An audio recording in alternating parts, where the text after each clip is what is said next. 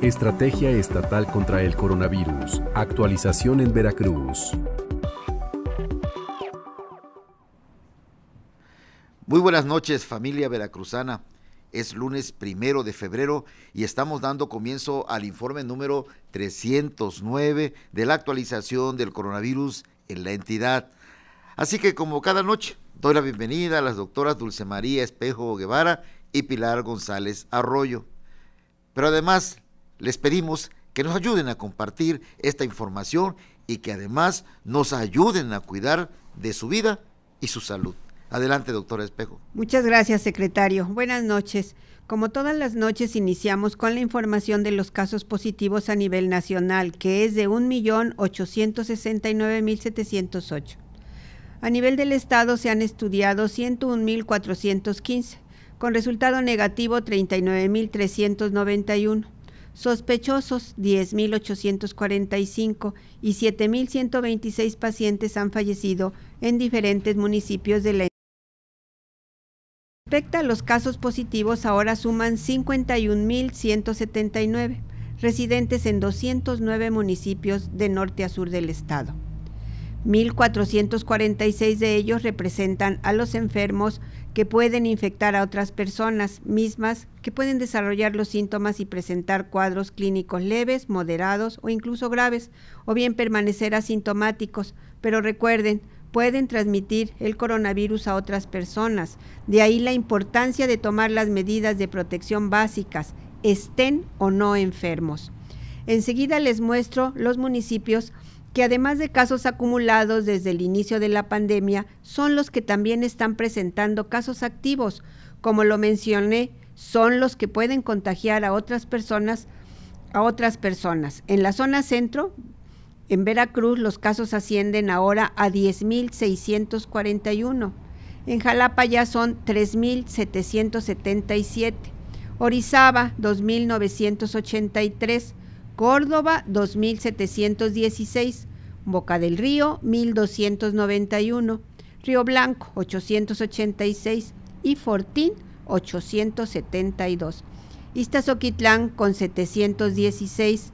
La Antigua 648, Nogales 581, Medellín 555 y Camerino Z Mendoza 405, Coatepec 382, Alvarado 367, Mariano Escobedo 362, Perote con 323 y Úrsulo Galván 299.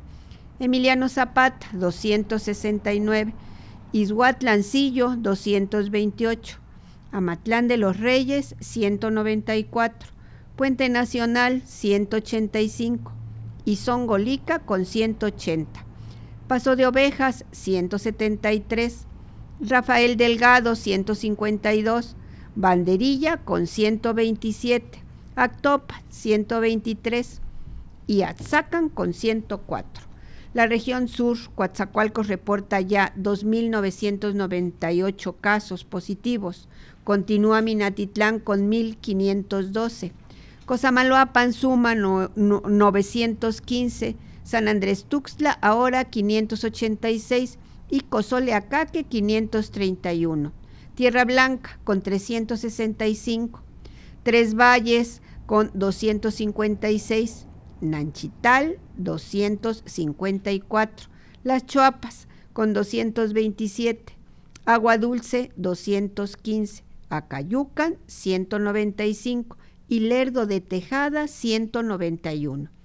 Ahora Carlos Acarrillo 175, Jaltipan 166, Ángel R. Cavada con 146, Isla 118, ahora José Azueta 108 y Santiago Tuxtla con 104.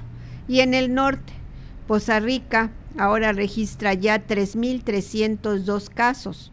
Le sigue Tuxpan con 1.539, Pánuco 746, Martínez de la Torre 650, Papantla 634, y Coatzintla 470. Tihuatlán 395. Álamo Temapache con 208. Pueblo Viejo 146. Misantla 142. Tantoyuca 113. Chicontepec con 102. Gutiérrez Zamora 102 y Tlapacoyan con 102. Como lo hemos mencionado, los casos positivos a COVID-19 continúan presentándose en diferentes localidades de norte a sur.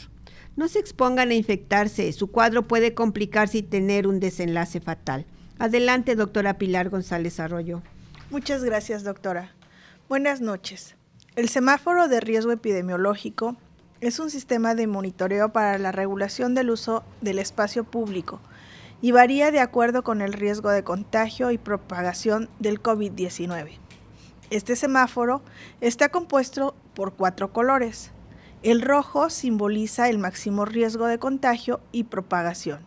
En este color, las actividades no esenciales laborales están suspendidas y las comerciales esenciales solo deben trabajar con un 25% de aforo. El color naranja significa un riesgo alto, en esta fase, además de las actividades económicas esenciales, se permitirá que las empresas catalogadas como no esenciales trabajen con el 30% del personal para su funcionamiento. El amarillo simboliza un riesgo moderado.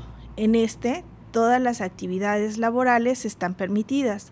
Los espacios públicos abiertos se abren de forma regular y los espacios públicos cerrados pueden hacerlo con un aforo limitado y reducido. Por último, el color verde, que significa riesgo bajo, aquí están permitidas todas las actividades, incluidas las escolares. Dicho en otras palabras, y para que sepan el riesgo de contagio por coronavirus al que se exponen al salir de casa. En color rojo, el riesgo de contagio es máximo, por lo que se recomienda que no salgan de casa, si no es estrictamente necesario, de preferencia solo por comida o medicinas. Una buena medida es utilizar las aplicaciones para compras. Recuerda limpiar todo lo que pidas y entre a tu casa.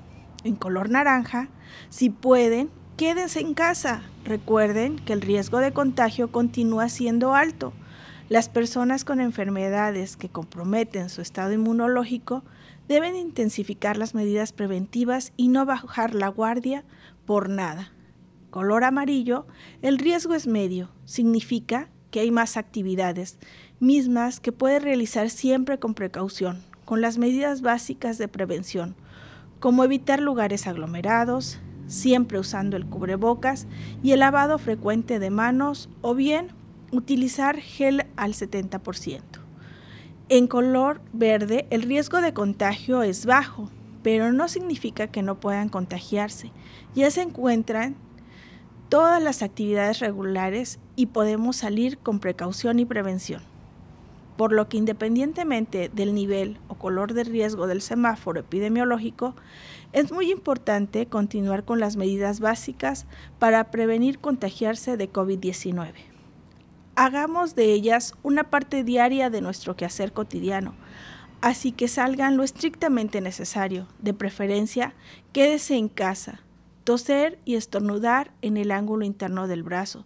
Si salen, recuerden usar cubrebocas, guarden la sana distancia de al menos un metro y medio de las personas, eviten lugares cerrados y concurridos, así como organizar o asistir a reuniones. Eviten saludar de mano, beso y abrazo y lávense frecuentemente las manos con agua y jabón o utilicen un gel antibacterial con alcohol al 70%. Gracias por su atención. Cedo el uso de la voz al doctor Roberto Ramos Amor, Lor, secretario de Salud. Muchísimas gracias, muy amables doctoras. Familia veracruzana, esta noche quiero comentar con ustedes algunas situaciones que han derivado que pacientes con el virus SARS-CoV-2 agraven su salud. Necesitamos que ustedes, la población, estén muy atentos, porque de eso depende que salven una vida. Hemos detectado que los pacientes con el virus COVID-19 acuden a recibir atención después de 7 a 10 días de comenzar los síntomas, esperando que la enfermedad pase. Acudan a recibir atención, vuelven a casa con algún medicamento o incluso con tanques y mascarillas para apoyar en su oxigenación. Lamentablemente, todos esos días que esperan en sus casas a que la enfermedad pase, con esos síntomas, es tiempo que los pone en un riesgo mucho mayor, inclusive llegar a un desenlace fatal. Por eso, respetables familias veracruzanas, somos insistentes en la petición de que a los primeros síntomas acudan a su unidad de salud o llamen al número de atención que cada noche les brindamos. Ya cuando sean evaluados por el médico especialista, entonces sabrán si pueden llevar el tratamiento ambulatorio en sus casas. Esto, claro, dependerá si se trata de síntomas leves. Pero ojo, mucho ojo, cada paciente que lleva tratamiento ambulatorio igualmente es controlado por la unidad médica, que es la que se encarga de la vigilancia a fin de evitar que se agrave su, condición. Una vez que la persona contrae el virus, familia veracruzana, pasarán entre 4 a 7 días para que este virus comience a provocar síntomas. Como dije, en algunas personas pueden ser leves, es más, casi imperceptibles. Pueden confundirse con cualquier otro malestar común. Sin embargo, si no hay el procedimiento correcto, van a contagiar a alguien más y muy probablemente no tengan la misma respuesta. El otro escenario es que los síntomas pueden comenzar leves y llevar tratamiento en sus casas. Pero como dije, esto bajo la vigilancia médica continua. Porque en cualquier momento pueden agravarse. De ahí que lleguen pacientes de último momento a las salas de urgencia de nuestros hospitales con saturación de oxígeno de menos del 50%, lo cual es totalmente complicado. Hemos recibido pacientes con 30% de saturación o menos, con pronóstico verdaderamente fatales para la vida. Familia veracruzana, por favor, no permitan que eso pase. En su decisión está evitar muertes por no acudir a la unidad de salud. En todas se habilitaron los triage respiratorios, que son unidades para atender a los problemas respiratorios, para una correcta evaluación. Por eso nuevamente les pido encarecidamente que cuando tengan síntomas respiratorios o infecciosos, vayan a su unidad de salud o llamen al 800 01 2 3 4 5 6 para que sean asistidos por personal especializado. Y por favor, Protéjanse. Seguimos en alerta preventiva y de preferencia no salgan de sus casas. No aflojen las medidas preventivas. Recuerde que pueden consultar cómo está su municipio en coronavirus.veracruz.gov.mx. Por hoy es todo.